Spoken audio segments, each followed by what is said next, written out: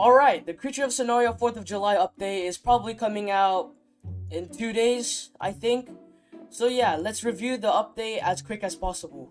Alright, so I'm here at the Creatures of Sonaria dev feed and they're adding a new monthly creature, which is the Reox. It looks insane, the design looks really cool, and especially the animations. The Corycer is getting a new remodel. It's better than the old one. This looks really spiky, that's one thing I don't like about it. And it's also giving me Sea of Treats Block Street vibes. I don't know why, but it just does. Alright, so here are the two animations for these two creatures, and honestly, the animations are getting better and better. They are starting to look more smooth, and they're starting to look like more alive, if you know what I mean.